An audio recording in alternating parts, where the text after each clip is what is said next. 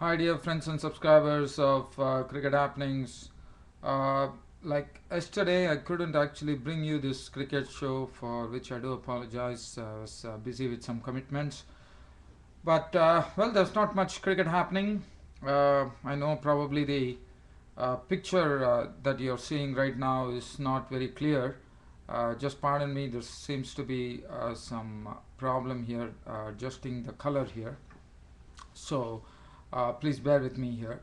Uh, well, today what I'm going to do is I'm just going to do one uh, match which is going on. As you know, uh, Pakistan and England uh, are going to be clashing in the first test at a neutral venue uh, in Dubai on 17th of January. And now the Pakistan team is there. Pakistan and England are there in the United Arab Emirates. Now, Pakistan they are coming off a very good high, I would say, because they had a very good 2011. Misbah ul Haq, the captain, um, has a very uh, safety first approach, uh, which uh, he has definitely defended well yesterday.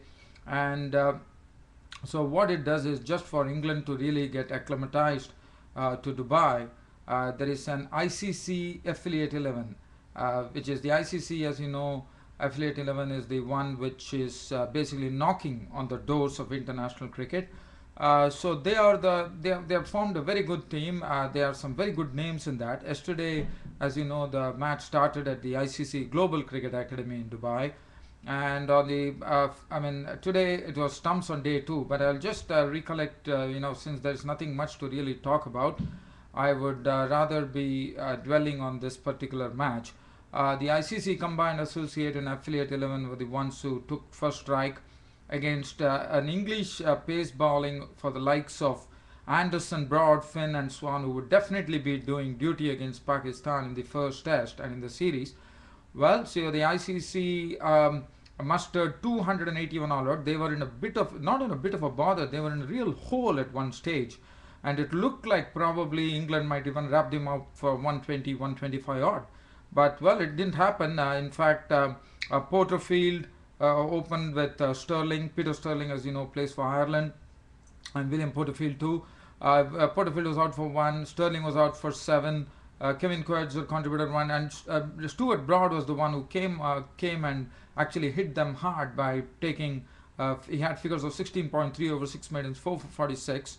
Uh, Saqib Ali uh, of the United Arab Emirates, the local boy, made 14 with three fours. Uh, Craig Williams Namibia made 34, uh, 6 fours and 1 6. Uh, Mohammad Shahzad of Afghanistan uh, was involved. In fact, Mohammad Nabi was dismissed very early, uh, clean ball by Swann. But Mohammad Shahzad, along with Craig Wilowen, now he's from Namibia, uh, he's more known as a bowler uh, rather than a batsman. But what was very interesting was from the score of 122 for 7 when Mohammad Shahzad went, they took the score on to 181 with uh, Inamul Haq. Uh, in fact, only the lower order actually played, and Craig Wilowen was the highest scorer, scoring 98 with 13 fours and 1 6. And I think it should be great praise for him, considering that the pace attack from England were from the likes of James Anderson, Stuart Broad, uh, Steven Finn, the tall bowler, and Graeme Swann. Uh, Craig Wilowen uh, cracked 98, 13 fours and 1 6. Would have done himself a great lot of good there, probably showing his all round prowess. Um, Inamul Haq made 26 with uh, three boundaries. Uh, Rankin was, in fact, Mohammad Shahzad from Afghanistan did well, scoring 51 of 58 balls with seven fours. He has been the prolific scorer for Afghanistan.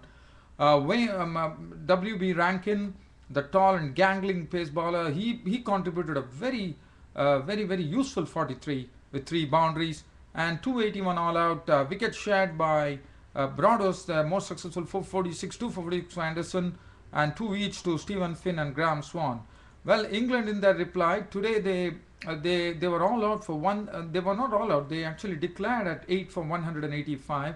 The only uh, person who scored well there was uh, Alastair Cook, the batsman who made 76 with 14 fours.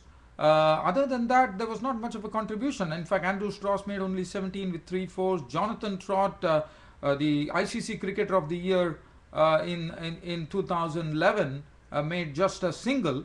Uh, Kevin Pietersen was out cheaply for 15 with three fours. Uh, Bell was out for three, so there's a mighty batting order really collapsed. Uh, one to Ian Morgan, uh, and uh, in the end it was like batting practice for them. So 185 for 8 England declared. Now, what was good to see over here was Hamid Hassan, the Afghanistan pace bowler, who has been very, very impressive. He bowled 11 overs, 4 maidens, 26 runs and 2 wickets. Was uh, quite bowling with lots of praise. Craig Willowen, who did very well with the bat, 11 overs, 1 maiden, 42 runs and 1 wicket from Namibia. Mohammad Nabi of Afghanistan, 2 for 42. Uh, Rankin also did well with the ball, 2 for 49. And Haq took 1 wicket. Now, this was the second day, and at stumps, ICC Combined Associate and Affiliate 11 had made 90 for 5 at close of play on the second day. Uh, this is a three day match. And in fact, uh, there were there were uh, ducks for the openers William Porterfield and Peter Stirling. Uh, Coetzer made 31 with six fours. Uh, Saqib Ali, the local boy, failed. He was out for two. Uh, Mohammad Shahzad was there undefeated on 34. He has his Afghanistan teammate there, Mohammad Nabi, not out on 9. And they finished at 90 for 5. So basically, uh, there is it, this is only a three day game. And uh, you know, it's just some batting practice for England to just, uh, you know, get a knock there. Uh, so one can't really dwell into this. One can't really go seriously into this. But definitely, it's some good batting practice ahead of the uh, test matches against uh, Pakistan.